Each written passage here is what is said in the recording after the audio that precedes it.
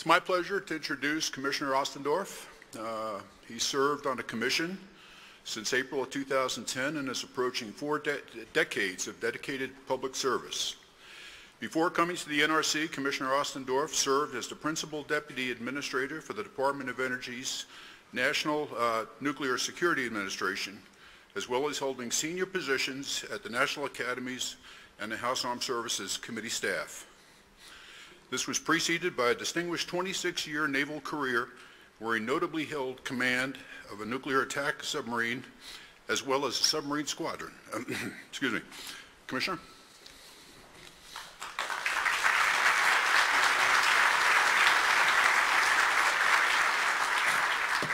Well, good morning. I agree with Brian that Commissioner Svinicki is a tough act to follow. Uh, I'm not going to try to do that. It's interesting, uh, Bill Magwood uh,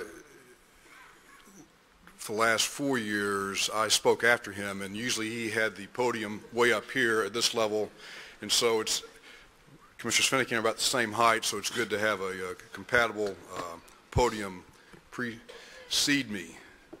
So it's a great opportunity to be here today. Thanks to the privilege of speaking to this distinguished group of colleagues from the nuclear safety community. I particularly want to welcome our international colleagues. We really value our relationship with you across the board. Before I begin, I have a few notes of appreciation. First, I want to thank the NRC staff, Bill Dean, Brian Sheron, their staffs who work so hard every year to prepare for the RIC. I also like to thank fellow commissioner colleagues here in the front row, for Chairman Burns, Commissioner Baran. Welcome to your first RIC and your new roles. I've been impressed with how smoothly you and your staffs have transitioned into new, new responsibilities. To Commissioner Svinicki, thank you for continuing to be a close colleague and dear friend these past five years on the Commission. To the NRC staff, a heartfelt thanks to you for your high caliber of work and your dedication to NRC's mission. It is a true privilege to work alongside you. And two final personal notes of thanks. First, a former member of my staff, John Tappert. John left my office last year after two years as my chief of staff. He is now serving as the Director of Division of Engineering in the Office of New Reactors. I could not have asked for a more high-performing, professional, and collegial individual. I'm most grateful, John, for your hard work and service to the NRC. Thank you. And second, to Jim Wiggins. Jim's down here in the front row, back three, three chairs, the Director of the Office of Nuclear Security and Incident Response. Jim will be leaving the NRC after 35 years of dedicated service, following six years as a nuclear submarine officer. I know that we are all indebted to Jim for his commitment to common sense, pragmatic regulation. I've learned a lot from Jim, and I thank you, Jim, for your leadership, service, and friendship.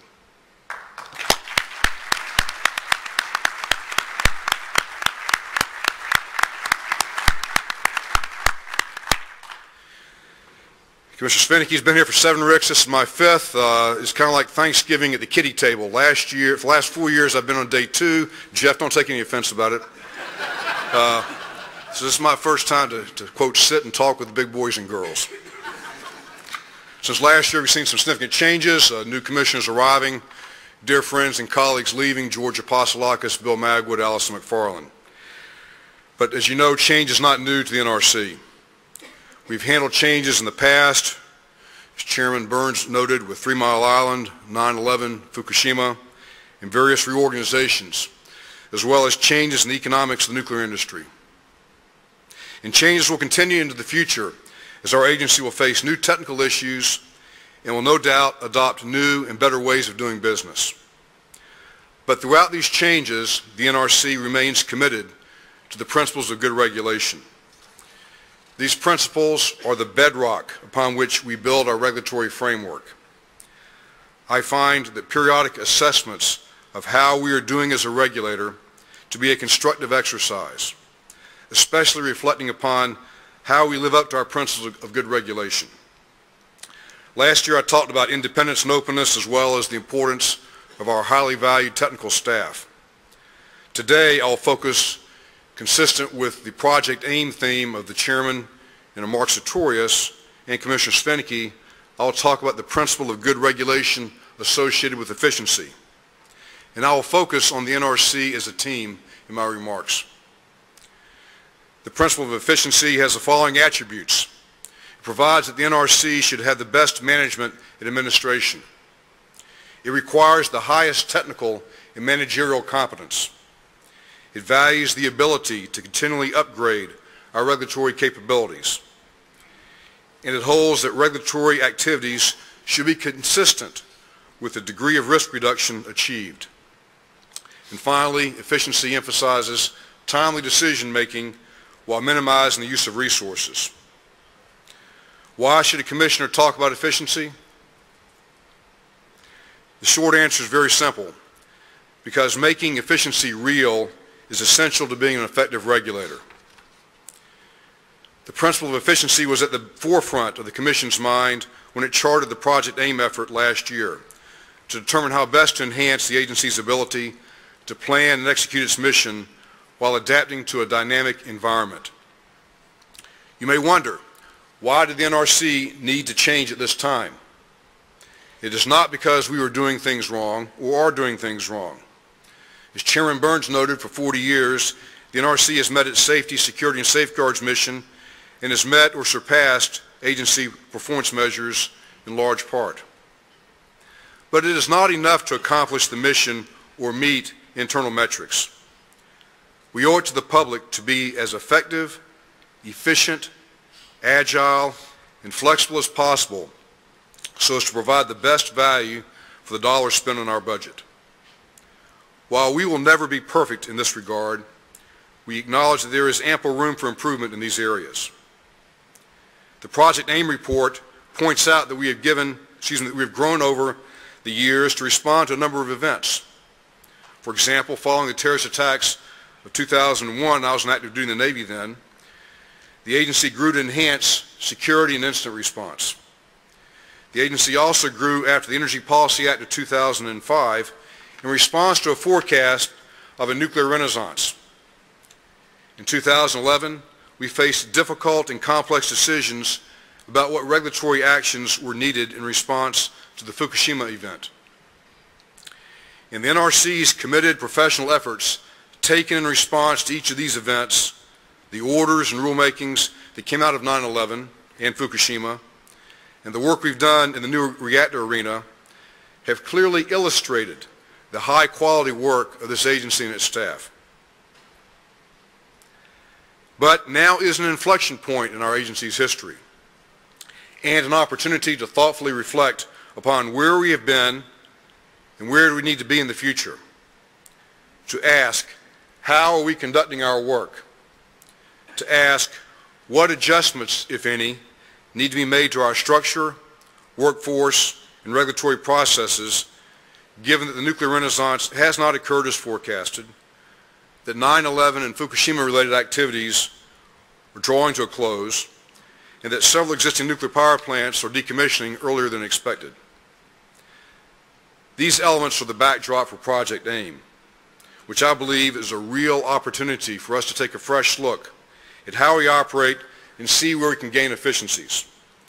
I applaud Mike Weber's team for producing an insightful strategic report. I'll also observe that not many organizations get this kind of an opportunity. And of those that do, fewer still actually take advantage of them. I am actually, as a commissioner, excited and have great hope that this agency will take advantage of this opportunity and be guided by the principles of good regulation to move forward constructively. Now, some of you may be wondering, can a government agency really be efficient? So now I'll tell my one joke.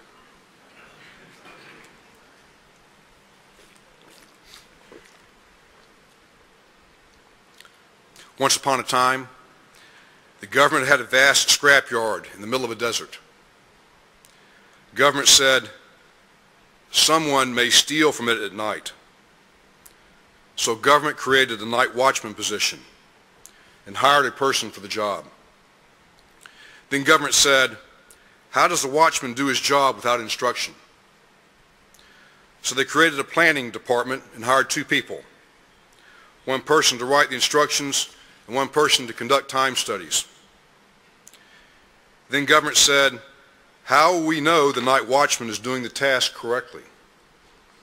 So they created a quality control department and hired two people, one to do the studies and one to write the reports. Then government said, how are these people going to get paid? So they created the following positions, a timekeeper and a payroll officer, then hired two people to fill them. Then government said, who will be accountable for all of these people? So they created an administrative section and hired three people, an administrative officer, assistant administrative officer, and a legal secretary. Then government said, we've had this command in operation for one year. We are now $18,000 over budget. We must cut back overall cost. So they laid off the night watchman. Not quite the response Commissioner Svinicki got. But you get the point. Government efficiency in action. Fortunately, this type of behavior in the joke, in all seriousness, is not what I saw in my years at the Department of Defense, nor at the Department of Energy. It is certainly not what I've seen in my time last five years at the NRC. Rest assured, no matter how the Commission votes on the Project AIM recommendations, this agency will continue to improve on its already strong performance. Why am so, why am I so confident about this? Because I've seen the great work of this agency and its talented staff, especially when we have an eye towards efficient operations. For my service on six submarines, I can attest to the value in having positive, real, tangible models to follow when teaching others. Whether training a new ensign how to direct propulsion plant casualty actions by his watch section, whether conducting a smart landing on a single propeller submarine, conducting a landing alongside a pier without a tugboat, or how to effectively conduct a submerged attack with a torpedo against a quiet adversary. Seeing others do something well is almost always a good starting point for teaching and actualizing change for the better. And fortunately, the NRC has a number of positive models to offer to help us improve efficiency. The Project AIM report categorized its recommendations into three strategic categories, people, planning, and process. For symmetry, I will use these same categories to discuss examples of efficiency in action at the NRC. These examples show that when we start with the end in mind, establish clear direction and priorities, and are flexible to change, we do regulate in an efficient and effective manner. The first example of a people strategy I'll point to is the agency's ability to reallocate resources in response to changing priorities and workload. Last fall, the Commission approved the staff's recommendation to merge the Office of Nuclear Materials Safety and Safeguards, NMSS, and the Office of Federal and State Materials and Environmental Management Programs, or FSME, back into one office. In making this recommendation, the staff recognized that the increased workload that drove the split of NMSS into two offices years ago no longer existed, and that there was some duplication in effort between the two offices. The merger back into one office gained efficiencies by eliminating unnecessary duplication and reducing overhead. I personally thank Kathy Haney and Brian Holian, along with their teams, for achieving this successful, efficient merger. Likewise, efficiencies were seen when the Office of New Reactors, or NRO, shifted personnel to the Office of Nuclear Reactor Regulation, or NRR, given changes in its workflow and priorities over the past two years. When I was sworn in as a commissioner April 1st of 2010, the NRC was reviewing license applications for 26 new reactors. Since that time, we have completed several significant new reactor projects, including the AP1000 Design Certification Amendment, the issuance of four combined licenses for the Vogtle and Summer sites, work on the ABWR Design Certification Amendment, and establishment of the Construction Reactor Inspection Program. But with this work completed and with changing plans of prospective licensees, our new reactor workload has significantly decreased. At the same time, there is a need to address several high-priority actions in NRR, including addressing the operator, operating reactor licensing backlog and post-Fukushima activities. Therefore, in response, the staff moved resources from NRO to NRR to support these efforts, while not losing sight of ongoing new reactor priorities.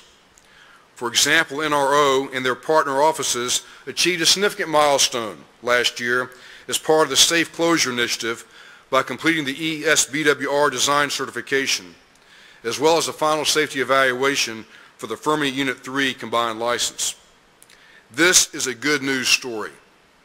I applaud Glenn Tracy and the NRO team for their agility and flexibility in responding to changing new reactor plans and schedules and for their support of broader agency priorities, including support of Fukushima and waste confidence activities.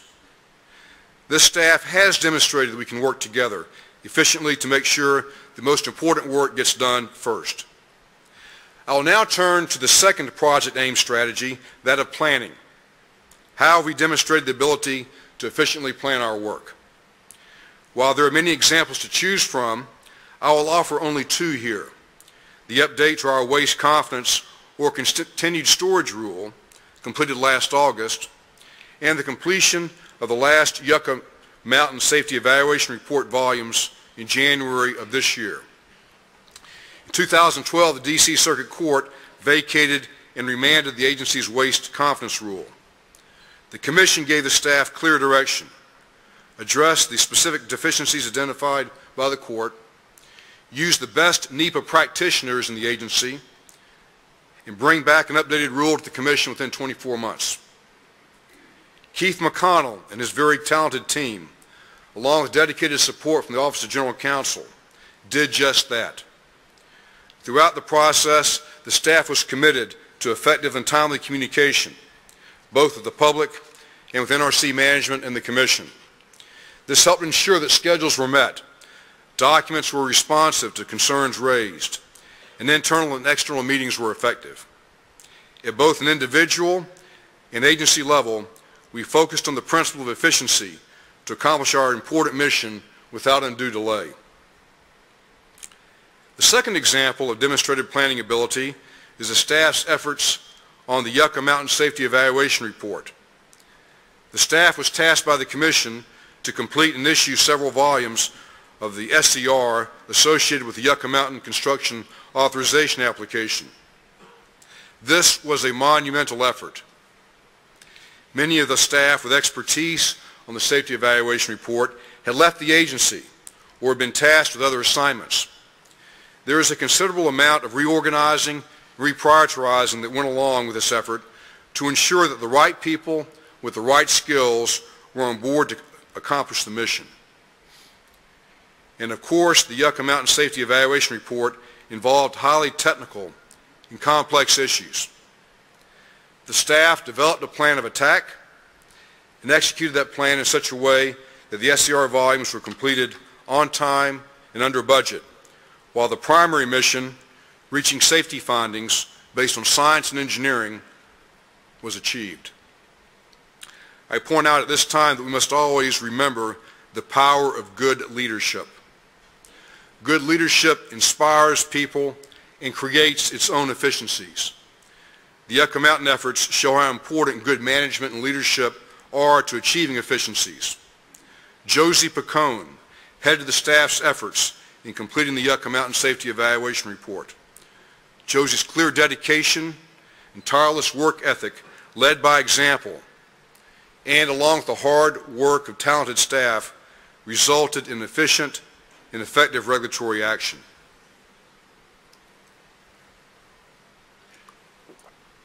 I'll now turn to the third and final Project AIM strategy, process. In short, how can we streamline or standardize our processes, roles, and responsibilities? I offer two examples from the rulemaking arena, NSIR's cybersecurity rulemaking and the post-Fukushima mitigating strategies rulemaking. Now some might wonder why I would mention our cybersecurity rulemaking as an example of efficiency, given that the NRC's rule that's 10 CFR 73.54, came out in 2009, and the NRC just endorsed revised guidance in December 2014. But it's important to remember that efficiency is not only about being fast. It is also about making risk-informed licensing decisions to help ensure the regulatory burden is actually commensurate with the risk. That's why I'm telling this story. In 2009, the NRC put in place cybersecurity requirements for power reactors. Nuclear power plant cyber programs required to protect what's called critical digital assets, or CDAs. In January 2010, the NRC published a Reg Guide 5.71 that provided guidance to licensees on an acceptable way to meet the requirements of this rule. This Reg Guide contains guidance on how to identify CDAs, among other things. Now, as industry began implementing the rule, it became evident there is much more work involved than originally envisioned by either the staff or industry. Instead of finding hundreds of CDAs, plants were identifying thousands of CDAs. The staff and I will personally commend Barry Westreich and Russ Felts. Staff took a step back and work with stakeholders to adjust the approach to focus on the most important CDAs. What resulted is a consequence-based approach, which is consistent with our efficiency principle, whereby regulatory activities should be consistent with the degree of risk reduction they achieve. The NRC staff engaged thoughtfully with industry to develop NEI 13-10 to implement the consequence-based approach. NEI 1310 was endorsed by the NRC in January 2014. By streamlining the process for identifying and addressing CDAs, the approach reduces the burden on licensees while continuing to ensure that proper adequate protection standards are met. Revised guidance was endorsed by the NRC in December 2014. One final process example is in the area of post-Fukushima regulatory actions. The staff led by Mike Johnson, in concert with industry, has consolidated thoughtfully many of the post-Fukushima requirements into one effort called the Mitigation of Beyond Design Basis Events Rulemaking. The scope of this rulemaking now includes near-term Task Force Recommendation 4 regarding station blackout mitigation, near-term Task Force Recommendation 7 regarding spent fuel pools, Recommendation 8 regarding on-site emergency response capabilities, and Recommendations 9, 10, and 11 regarding emergency preparedness. Consolidating these rulemakings will produce a more coherent framework and will certainly reduce the potential for inconsistencies between the related regulatory actions. Consolidation also adds clarity for external stakeholders as they will be able to comment on a single rulemaking package. This consolidation was an efficient way to move forward given the number of interdependent and interrelated safety issues involved. Going forward, these efforts can be looked on as an example of how the NRC adapts to changes in stakeholder feedback and tailors its regulatory response accordingly while maintaining a risk-informed focus. I will now conclude. We, the NRC and the Commission, regulate in the field where not everyone is going to be happy with the decisions we make. Some might want us to do more. Some might want us to do less. And let's face it, some don't want us around at all. But we are here as a regulator fulfilling our statutory responsibilities. We owe it to the public we serve as well as the industry we regulate to come to our decisions in an efficient and effective manner.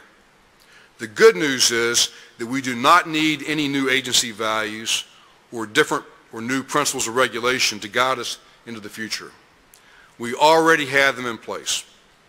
We also are fortunate to have a number of positive examples of how to operate efficiently to guide the broader agency as we move forward to implement Project AIM. I have great confidence that the NRC team is up to this task. I thank you for the chance to be with you today. I look forward to your questions.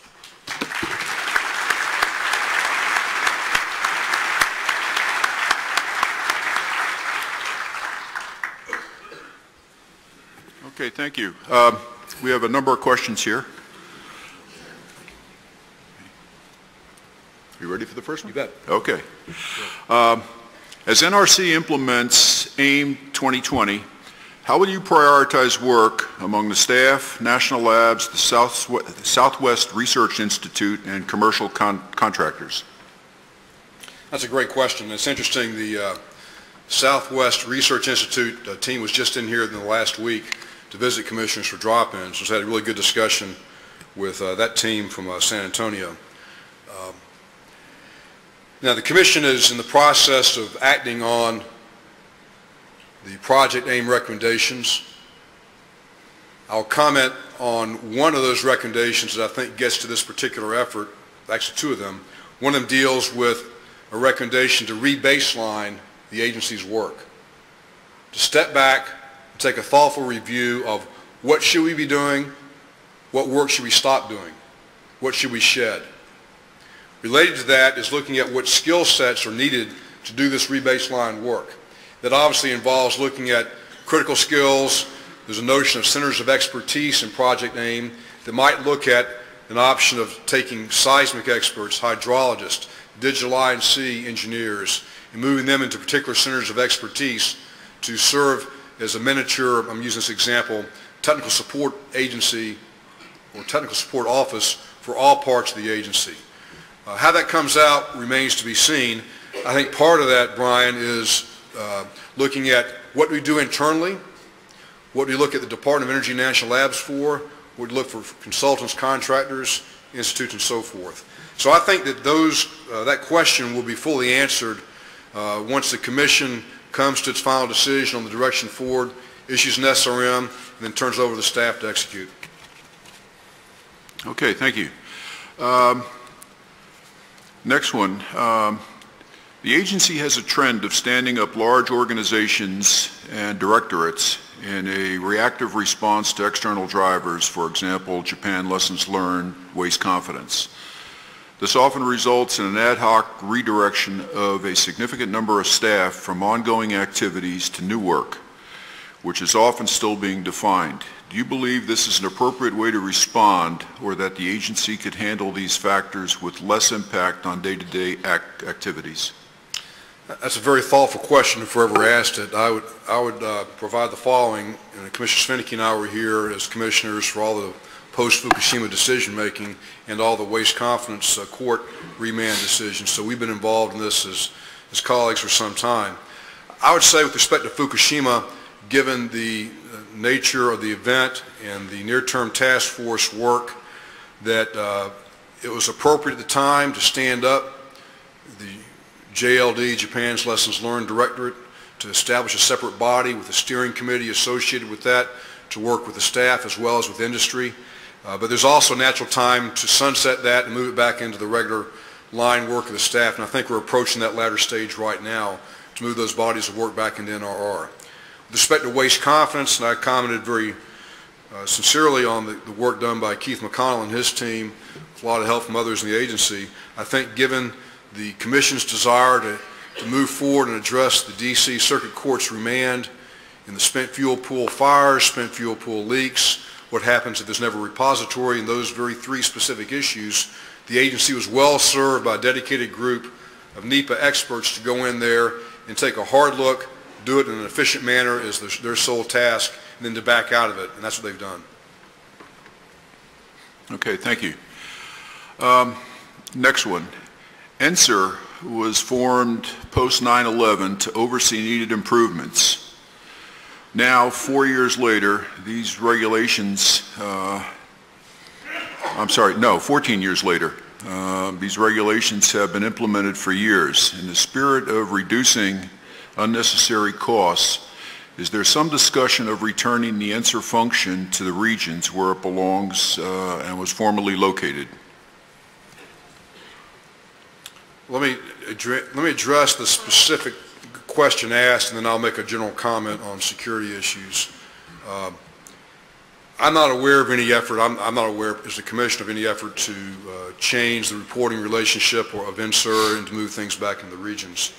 I will say, as with any organization, when you uh, have an external event, 9/11 was one of those uh, for everybody in this room, that the agency takes actions they believe are appropriate at that point in time, and then you get into a need to reevaluate where security issues are and how are we handling these issues, whether it's physical security or cybersecurity. I would suggest that, and I wrote a column on this with George Apostolakis back in 2013 to look at our force-on-force exercise program. To take a thoughtful look, I thought then in 2013, early 2014, it was the right time for this agency to take a fresh look at the FOF, force-on-force program, to see was that uh, meeting objectives, had it perhaps uh, in some areas maybe gone a little past what was originally intended. That's just one example, but I think overall that the Project AIM effort does allow us to take a fresh look at NSIR as, as well as other offices, and we'll see what happens. But I'm not aware of any effort to uh, disestablish the office or move it back into the regions. Okay. Um, next one, this is interesting. As a submarine commander, uh, how would you have presented the mission objectives of a project, of a program like Project AIM to your crew? What could the NRC learn from a subcrew in ec execution? Wow. there's, there's, a number of people in the audience here that also could answer that question. And I'm aware that my former boss, when I was prospective commanding officer instructor for the Atlantic Fleet, Joe Henry, flag officers in the audience today. So, uh, Joe, if I get this wrong, you can tell me afterwards. You know, the hardest job I had my entire life, uh, when I was, I guess, 30 years old, I was engineering an old attack submarine, USS John Marshall. that just came out of an overhaul at Puget Sound Shipyard to be converted from a ballistic missile submarine into a special warfare uh, platform for Navy SEALs. And I relieved at the end of the overhaul and brought the ship around the Panama Canal to Norfolk, Virginia, where we were working with the SEALs based out of Little Creek. And I'll never forget every single machinist mate was in port and starboard watch rotation. They were standing 12 hours of watch a day, six hours on, six hours off, and then responding to different training drills in between their watches. And we were really short on people, and qualified people. It took a long time to break out of that, it's called port and starboard, six on, six off routine. And that was really uh, a challenge for the crew, and we were operating, I thought, as efficiently as we could with the people we had, but it was hard. And so I take that experience and I say, well, how are we utilizing our people today? Sometimes one has to be willing to say there is work that no longer needs to be done. There's work that needs to be shed or deferred, not placed just a low priority where we say, we're not going to do this anymore. And I think we're perhaps at a juncture in our history where we need to do just that, say, we're no longer going to do X prime, Y prime, and Z prime. We'll do X, Y, and Z but we need to be willing to make some tough decisions as a commission and the senior leadership of the staff to do that. So that's what I uh, would, would say from my experience. Sometimes you can't do everything. You have to prioritize and do what's important. Okay, thank you. Um, as part of AIM, two, uh, so, I'm sorry, as part of AIM 2020, does NRC intend to create, this is capability, I think it means like centers of excellence, uh, the cross-cut directorates, can you discuss? Certainly. That's, certainly, that's one of the uh, recommendations from the team, and I thought it was a very thoughtful recommendation to have uh, consider standing up centers of expertise. Quite frankly, we've already done that in many areas where Scott Flanders' group in NRO has provided uh, the hydrologist to look at the flooding hazard reevaluations for Fukushima. And so we have de facto been doing this for the last couple of years, I think in a very thoughtful, practical way. And I think we'll leverage that experience from the hydrology side of the house, from seismic, perhaps PRA in the context of NFPA 805. Lots of good examples to, to call from, and we can say, hey, this has worked well doing it this way. This may not work as well, and we'll have the benefit of that experience. Okay. Okay. Here's a good philosophical one. Um, many people think of regulation uh, as, as a detriment to innovation, but innovation uh, in uh, certain technologies has the potential to improve safety. How does DNR think, or what does the NRC think about promoting innovation for safety purposes? Uh, Is there a way uh, to change regulations so that it is uh, not a burden, but a welcome way to improve safety performance? Is that somebody's PhD dissertation topic? No, that's a, that's a very thoughtful question. I, I just, I'll, one thing that comes to mind is, uh, I think this agency sees a tension at times. We, we all support innovation. We want to see new ways of doing business. At the same time, we have to fulfill our regulatory responsibilities. And I'd say the, the battleground in which this has been uh, more obvious to me as a commissioner has been in the introduction of digital I&C technologies in the context of digital upgrades for existing nuclear power plants. And I think we've seen a lot of examples in that area where industry has some really good ideas. Our staff wants to support it, but what level of pedigree is required? How do we look at assessing the reliability of certain types of processors?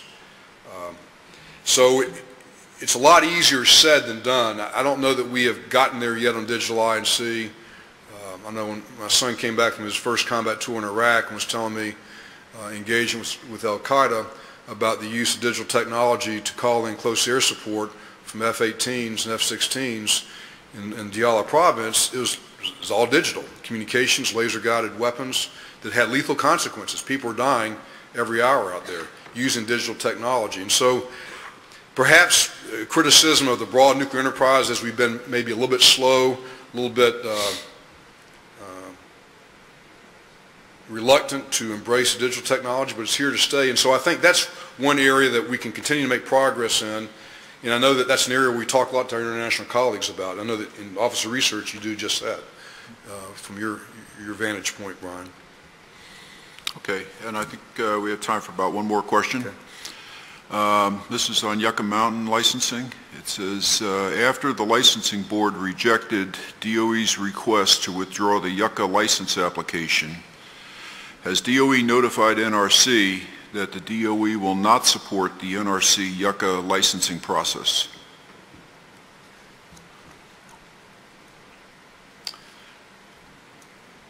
I want to make sure I understand the question. Here's what I think the question is, what is our current understanding of what the Department of Energy is doing or is not doing? I think as the chairman indicated in his remarks, uh, the Department of Energy informed the NRC last year that DOE would not be performing the supplemental environmental impact statement. And so the commission uh, directed our staff to do that as part of our own NRC staff efforts. Uh, I can't speak to what the Department of Energy is willing to do or is actually going to do. I think the legal case is still in a state of suspension. There is still a legal applicant, maybe not a willing applicant. Uh, I think as far as what DOE plans to do, that's best addressed to. DOE. Okay. Um, And I think that's all the questions we Okay. had, and we're just about out of time. So I would like to thank you very much. Thank you all.